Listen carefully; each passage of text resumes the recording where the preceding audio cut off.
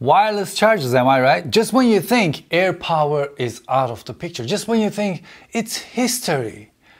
Jon shared some leaked information on his Twitter and he said Apple is still working on it. They haven't given up on it. The hardest part is to make the wireless charging of the Apple Watch work with the rest of the devices. If you remember that keynote from 2017, it was their biggest announcements after the first generation iPhone. And everyone was excited. But during the AirPower announcement, Phil Schiller's face was really different. So we're going to give you a sneak peek of this idea right now. Right there. It's a mat that you place your iPhone 8 or iPhone 10 down and it just starts to charge. You can place your Series 3 Apple Watch down on it. And you can place your AirPods with the optional new wireless charging case on it. This is not possible with current standards, but our team knows how to do this. We call it AirPower. He's anxious, he's playing with the remote. He knows this is too early to be announced. And his words are actually different too. He says, We have an idea, we're gonna work on it. We're gonna work with the Qi team. We're gonna make this happen. It's impossible to make it. We're gonna work on it. We're gonna make it happen. We know a way to make it, and then whatever that way was, it didn't work. But I have a wireless charger in front of me, which looks the same and it charges the same devices. The difference is with AirPower, wherever you place your device, it was gonna charge. With this, every device has its dedicated place on the thing. So let's get to unboxing. This is Trio wireless charging pad from Satechi. If you know Satechi, they make really high quality products. This Apple Watch charger is actually one of my favorite products from Satechi because you can just unplug this and you can just plug it to your iPad.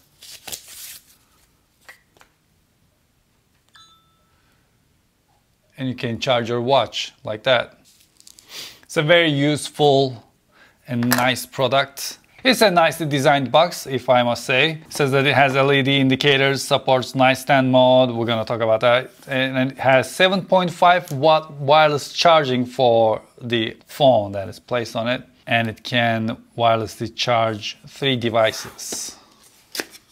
It is um, a little on the expensive side. It says thank you here, you're welcome. And then underneath we have the charging pad I unboxed this before, I boxed it back again because I'm a professional unboxer, so I also professionally box things back together just so I can give you the unboxing experience because we all know how important that is. We're gonna look at this more in a little bit. Let's see what else is in the box. It comes with the 24 watt charger and some adapters. I'm guessing we have the cable here. We have the cable and it has a cable tie so you can make things nice and clean. And that's all. As you can see, this is a really good looking charger. It has this rubber here so your phone doesn't slide off. This is for your AirPods and this is for your watch. It's on sale on Satechi's own website. Now let's plug it in. When you plug it in, the LEDs turn on and then they turn off. Let's place our AirPods. We get the indicator there. Let's place our phone. That is charging as well. And let's place a watch. So the thing is I use these kind of watch bands and these kind of watch bands will be a little weird on this like that. So what you can do is you can just lift this up and place it sideways and boom, everything is charging clean one cable solution for your charging station and everything is wireless, which means if you make a mistake placing this at night, in the morning you're gonna have a bad time. Let's see if it's gonna charge the... We're charging S20 Ultra 5G as well. The camera hunchback is not an issue. It is good, it is good. It's a good accessory. I also use iOttie's wireless chargers. I have two of them. One of them is plugged in my desk right now and the other one is this one that has an output if you want to charge something else at the same time. These are very useful as well. As I was editing this, I realized I don't use wireless charging when I go to sleep. I use wired charging because I find it safer, faster, and I like to be on my phone before I fall asleep. And as I'm falling asleep, I can just put the phone down wherever I want and it will be charging right there. With wireless charging, I have to place it on the pad right in that circle and hope I don't slap it in my sleep. But that doesn't mean I don't like wireless chargers. I like wireless chargers. I have a couple of them in the living room and they come very handy when they're required. I also ate an expired food today. It expired last month.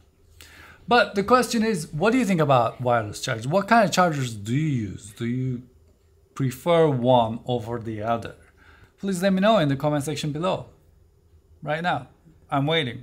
I'm waiting for you to write that comment. Yeah, right, right. Let me see. Mm-hmm. That's your you, you meant to say you are. Yeah, you are. Yeah, okay. Mm-hmm. Mm-hmm. No, not there. That's there. You're trying to say there. Okay. So, yeah, it's my, oh, it's only my second language. Well, thank you very much for watching this episode. During these times, I'm trying to upload as much content as I can so I can keep myself and keep you busy. Something for me, something for you. So if you want anything, if you have an idea for a video, let me know in the comment section below. I'll probably see you tomorrow. Until then, keep calm, don't touch your face, and wash your hands.